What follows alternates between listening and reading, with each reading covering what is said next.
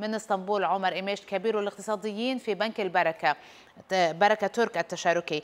إذا المركزي التركي أبقى على أسعار الفائدة دون تغيير عند 14% كيف تقرأ هذا القرار من قبل المركزي التركي؟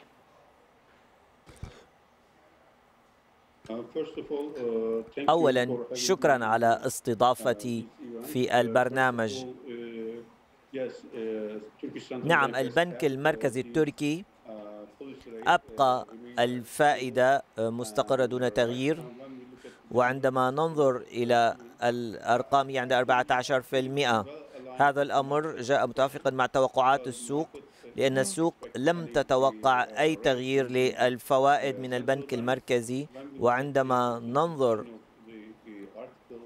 إلى ما أعلنه البنك المركزي التركي. نجد أنهم آه، ذكروا المخاطر العالمية والمخاطر الجيوسياسية المرتفعة وبالتالي البنك المركزي يتحدث عن ارتفاع أسعار السلع في العالم إضافة إلى القيود التي تطال سلاسل التوريد. هذا الأمر ذكر في قرار البنك وأيضا هم تطرقوا إلى المحافظة على سياسات آه، داعمة والمحافظة على آه، شراء الأصول. ومن منظور السوق التركي التغيير الأهم كان يرتبط بتوازن الحساب الجاري. وحاليا البنك المركزي التركي قال إن هناك فائضا في الحساب و وكان هناك إزالة لبعض البنود من القرار وخاصة في ضوء التضخم العالمي المرتفع وهذا الأمر بالتأكيد سيؤثر على التوازن في الحساب الجاري والقضية الأهم نعم. نتحدث عن تتحدث عن نسبة تضخم مرتفع حول العالم ولكن في تركيا ارتفعت أسعار المستهلكين 54% على أساس سنوي هناك ضغط في تركيا هناك آه، تكاليف مرتفعة للطاقة للغذاء الآن كيف يتم التعامل مع هذه آه، تحديداً؟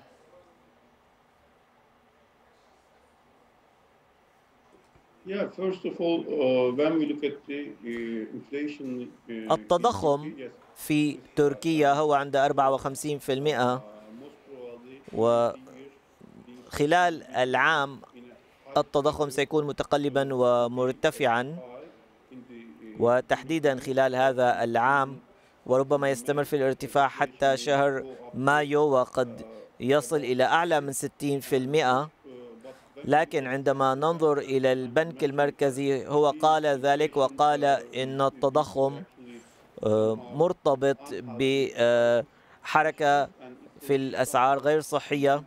وعندما تتراجع آه، التأثيرات المرتبطة بالقياس مع العام الماضي سيكون هناك تراجع في التضخم. وخاصة مع آه، الاقتراب من نهاية هذا العام وبداية العام المقبل. آه، هذا ما قاله البنك المركزي.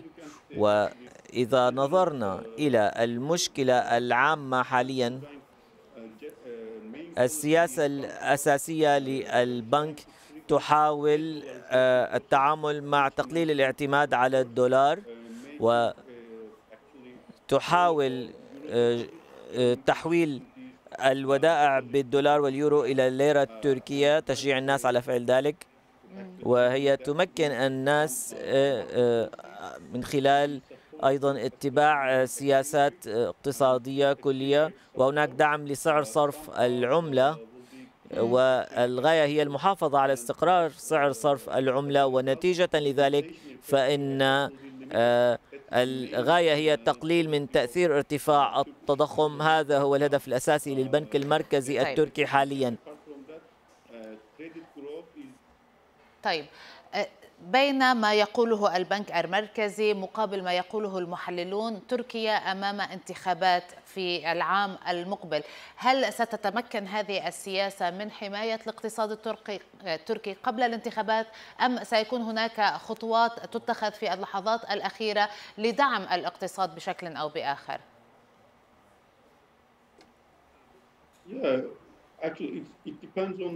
الأمر يتوقف على التطورات التي ستحصل في الأسواق العالمية.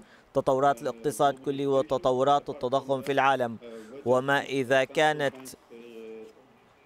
آه، سياسة البنك المركزي التركي للتقليل من الاعتماد على الدولار آه، تنجح أم لا؟ حتى الآن عملية التقليل من الاعتماد على الدولار وحماية الليرة التركية كانت بحسب التوقعات وهناك أدوات أخرى متاحة يمكن للبنك المركزي أن يستعملها من أجل دعم الأسر والشركات وبالتالي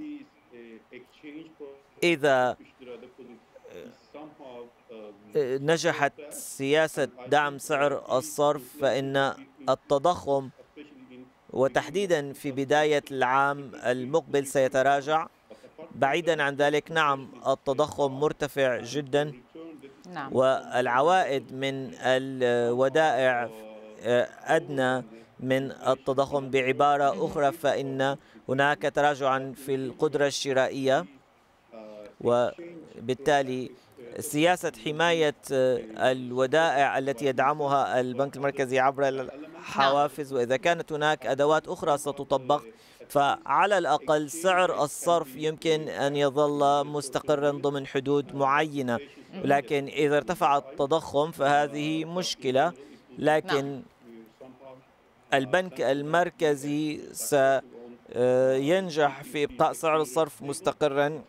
وهذا يعني أن التضخم سيتراجع. بداية العام المقبل. نترقب ونرى عمر إميش كبير الاقتصاديين في بنك البركة ترك التشاركي. كنت معنا من إسطنبول. شكرا جزيلا لك.